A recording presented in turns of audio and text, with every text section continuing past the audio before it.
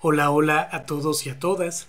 Yo soy Guillermo Hugo Gómez y te quiero dar la bienvenida a este nuevo video de Enciclopedia Sistémica. Hoy vamos a explorar un concepto fundamental para la terapia sistémica, el concepto de causalidad circular. Si tú eres un psicoterapeuta o estás interesado en profundizar tus conocimientos sobre terapia sistémica y terapia familiar, este tema es esencial para entender las complejas dinámicas que surgen al interior de los sistemas interpersonales y de las familias y que surgen desde luego en toda relación humana. Em, tradicionalmente, por ejemplo, tendemos a pensar en los problemas como una serie de causas y de efectos lineales, donde un evento, por ejemplo un evento A, eh, conduce a otro evento, el evento B, y eventualmente el evento B eh, conduce a un evento C. Sin embargo, en la terapia sistémica adoptamos una postura bastante diferente, eh, que es la postura de la causalidad circular. En la causalidad circular no hay un simple comienzo y un final. En lugar de esto, los eventos se influyen mutuamente, recíprocamente, en un ciclo continuo, lo que nos lleva a una comprensión mucho más rica y mucho más compleja de las dinámicas interpersonales.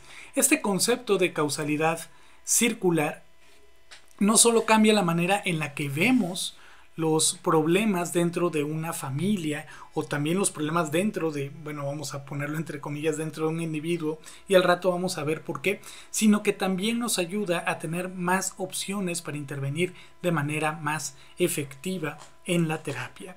En este video vamos a explorar en profundidad qué es la causalidad circular, de dónde proviene este concepto y cómo puedes aplicar este concepto en tu práctica clínica para lograr cambios más efectivos y más significativos con tus consultantes. Así que sin más preámbulos vamos a comenzar con este video.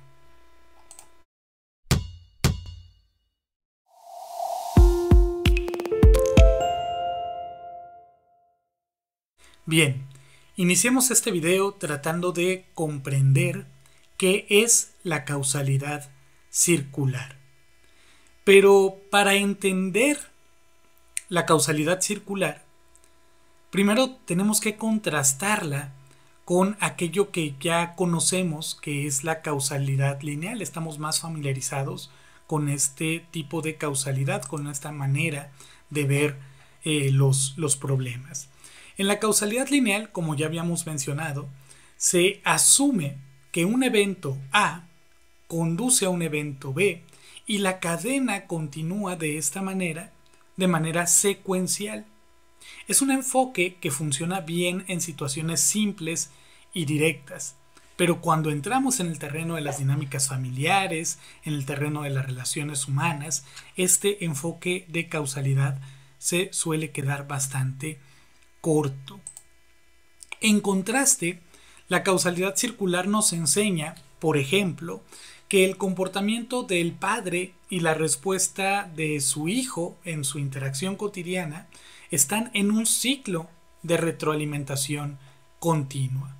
Por ejemplo, pensemos eh, en un caso donde el padre es autoritario y el hijo se retrae de su relación con el padre. El, autorismo el, autoritarismo del padre puede ser una respuesta justamente al retraimiento del hijo, que al mismo tiempo el retraimiento del hijo puede ser una respuesta al autoritarismo, eh, a la conducta autoritaria del padre. Aquí estamos entonces no ante una simple cadena de causas y de efectos, sino ante un ciclo de influencias mutuas. ¿De dónde viene este concepto? ¿De dónde viene este concepto de causalidad circular? Bueno, este concepto tiene sus raíces en la cibernética, que fue una teoría, es una teoría desarrollada por eh, Norbert Wiener, que era cibernético y matemático en la década de 1940 y posteriormente fue ampliada por Gregory Bateson y aplicada en el ámbito de la comunicación interpersonal y más adelante también de la comunicación en los sistemas eh, familiares.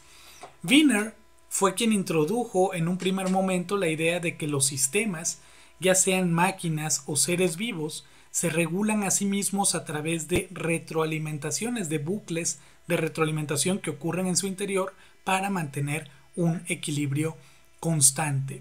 Bateson toma este concepto y junto con su equipo de investigación del que ya hemos hablado en otros videos, lo aplica a la comunicación en los sistemas familiares, ayudándonos con ello a ver a las relaciones familiares como sistemas de influencias recíprocas.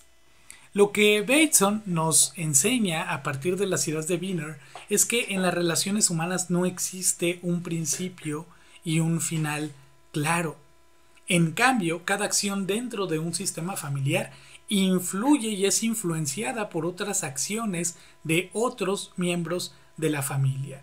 Esto nos permite ver a los problemas familiares no como resultados de un único evento o de un único comportamiento, sino más bien como el resultado de patrones complejos de interacción que se retroalimentan continuamente de manera recíproca.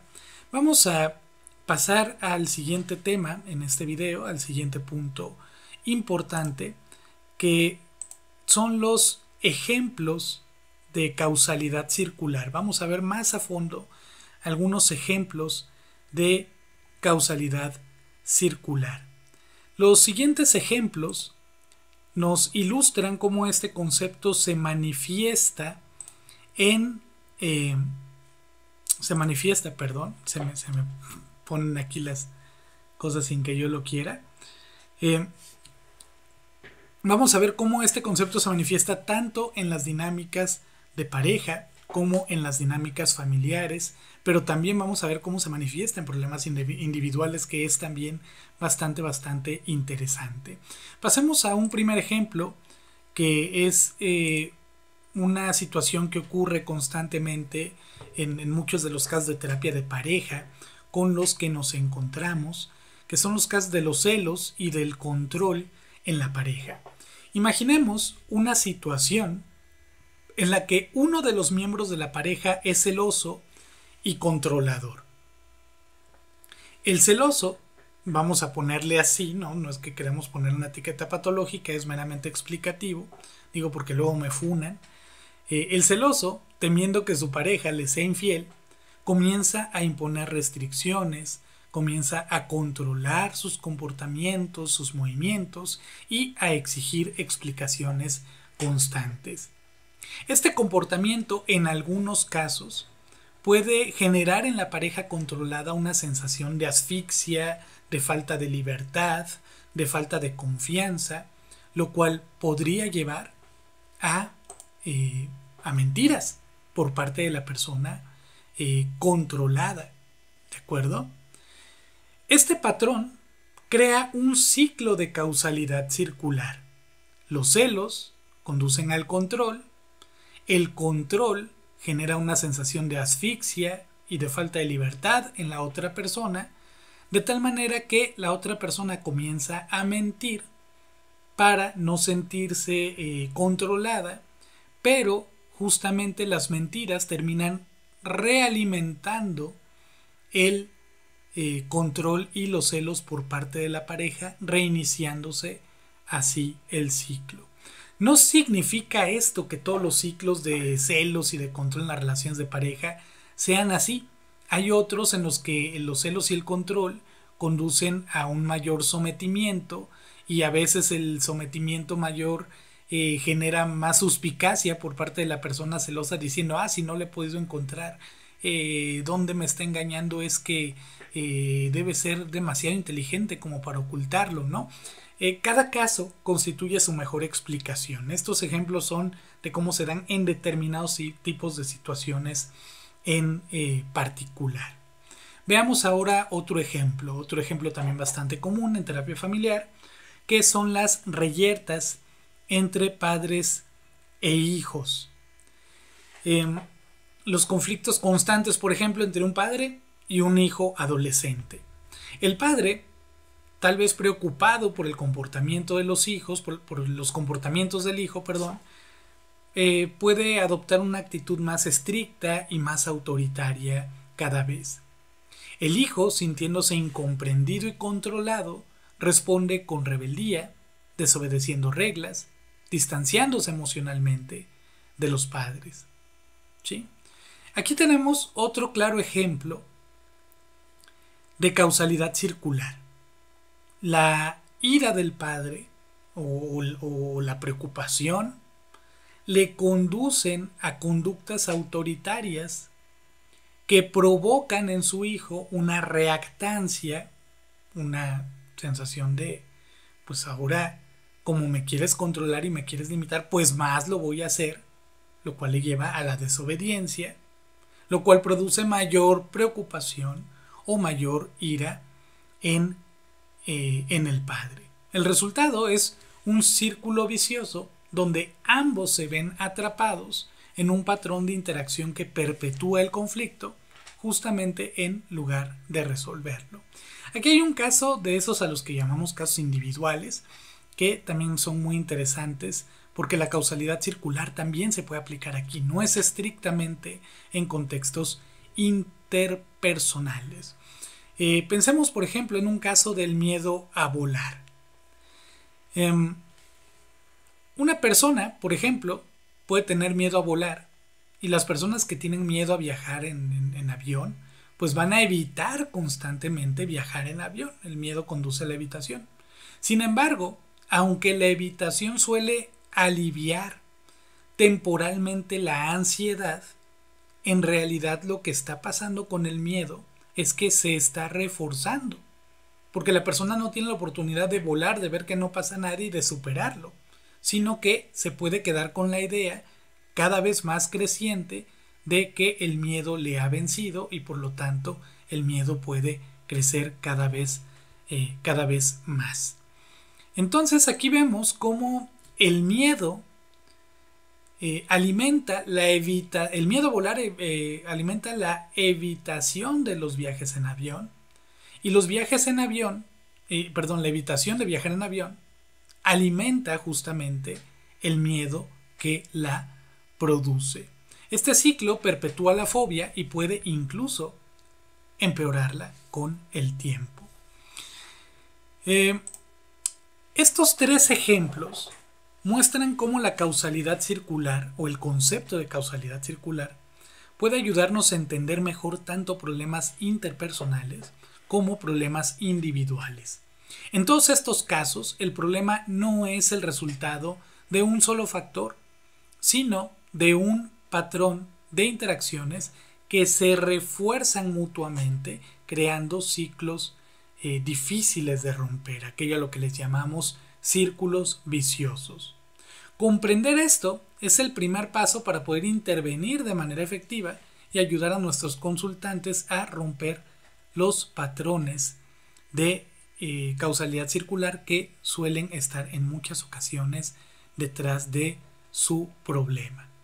Pasemos ahora a cómo se puede aplicar clínicamente este concepto, eh, a las aplicaciones clínicas del concepto de causalidad eh, circular.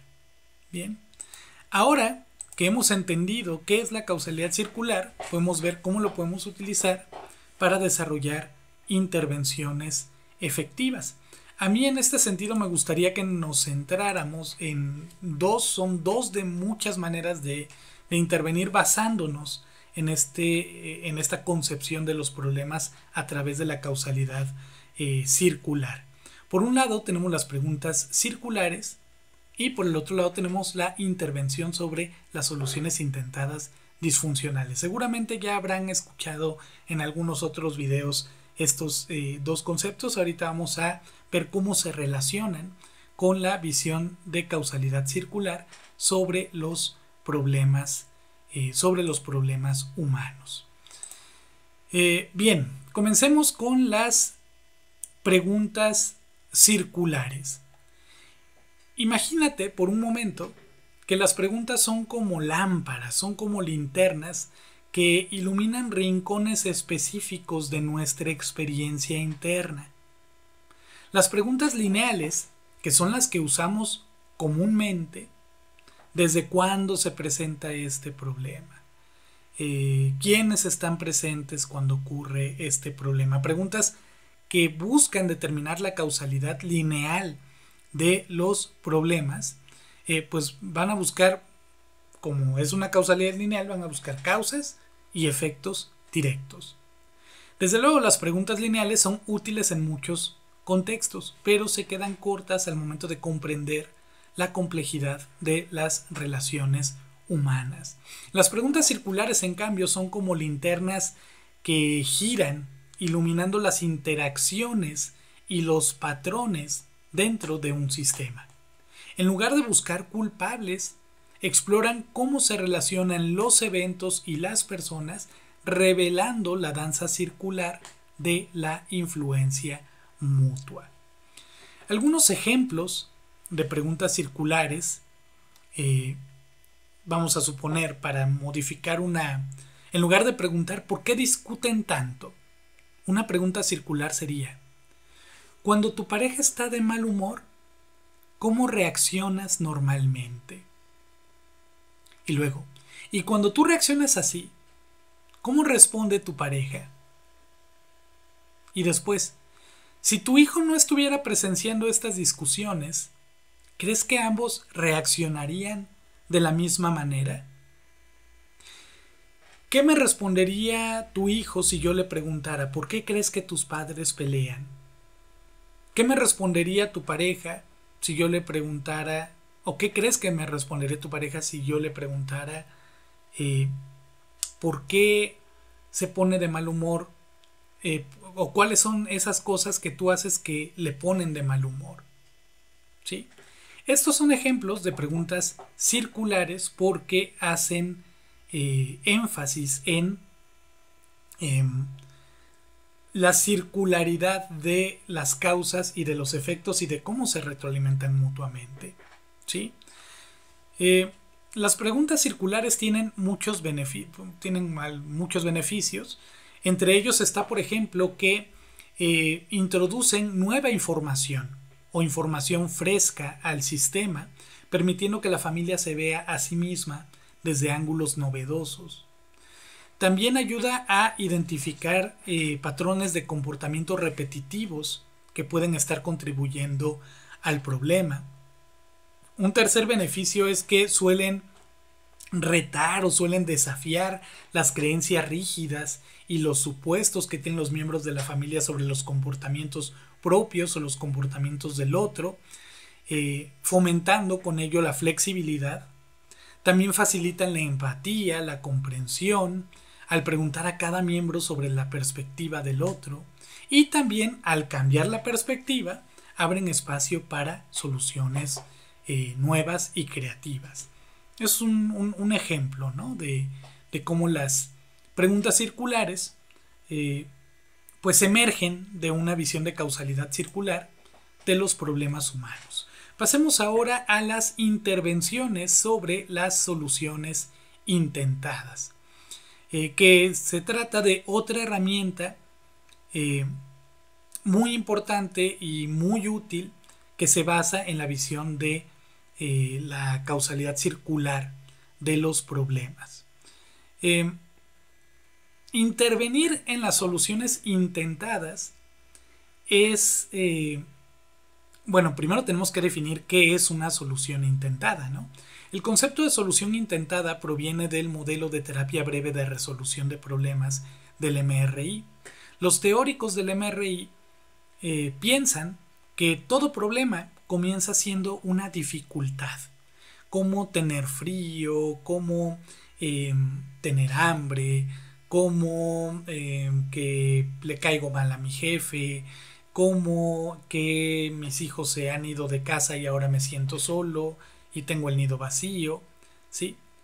Y que el hecho de que estas dificultades se resuelvan o uno aprenda a vivir con ellas o empeoren y se conviertan en problemas clínicos significativos depende de la manera en la que la persona afronte esa dificultad.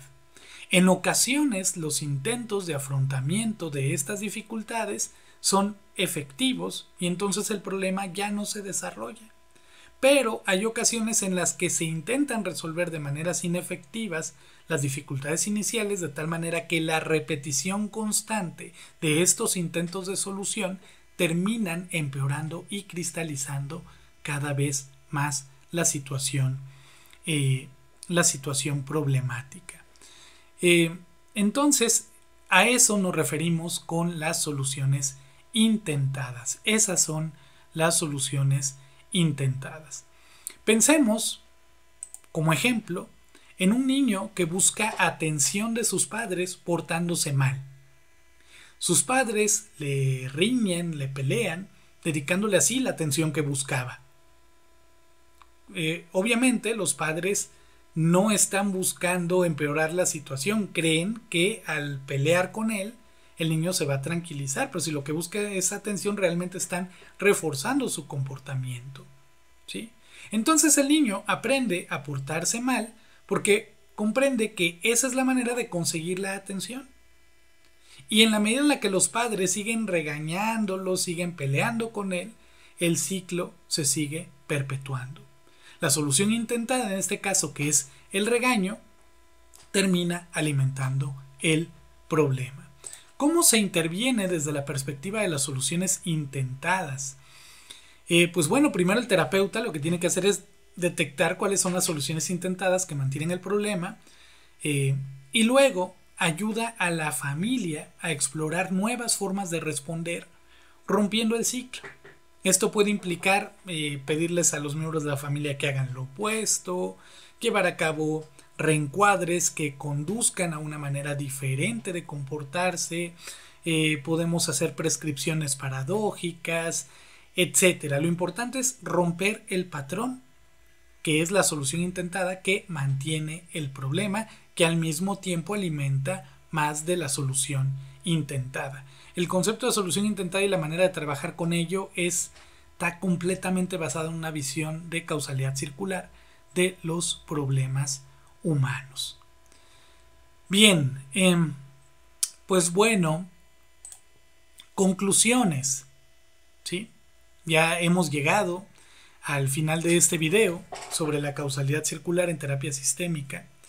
Y a lo largo de este recorrido hemos explorado qué es la causalidad circular, su origen, cómo se manifiesta en diferentes contextos y cómo puedes aplicar este concepto en tu práctica terapéutica para promover cambios significativos en tus consultantes. Recapitulando, hemos aprendido que la causalidad circular nos permite entender los problemas dentro de un sistema familiar o incluso en un individuo como parte de un ciclo de influencias recíprocas, donde los efectos retroalimentan a sus causas y las causas retroalimentan a sus efectos, en lugar de buscar una causa única como se suele hacer en el modelo de causalidad lineal.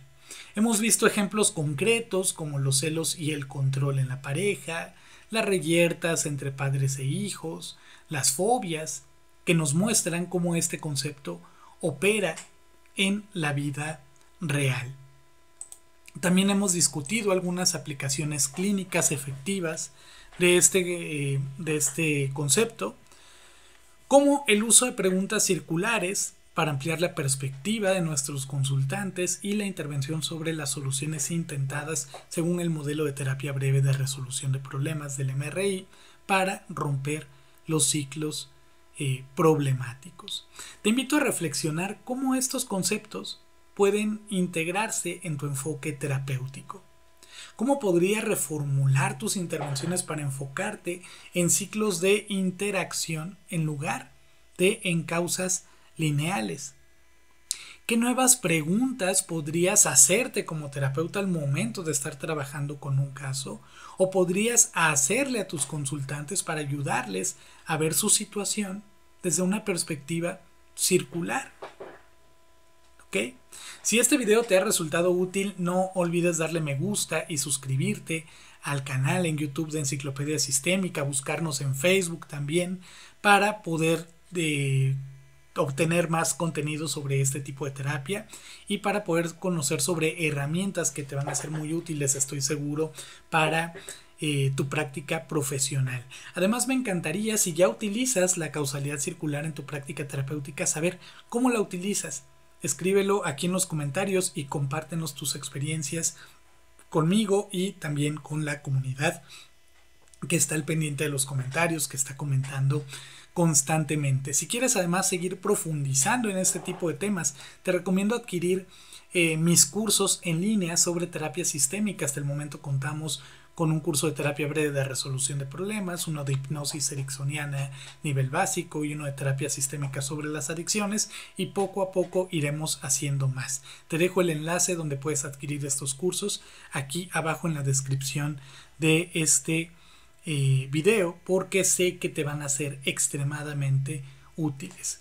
Y bueno, pues gracias por quedarte hasta el final. Espero que lo que hemos discutido el día de hoy te inspire a ver la terapia desde otra perspectiva en el caso de que no estés familiarizado con la terapia sistémica y en el caso de que seas un terapeuta sistémico que esto te haya refrescado, te haya eh, recordado de una manera más fresca esta, eh, estas cuestiones teóricas que bien vale la pena siempre recordarlas y rescatarlas. Eh, así que pues espero nuevamente que este video te haya sido útil y nos vemos en un siguiente video. Hasta la próxima. Chao.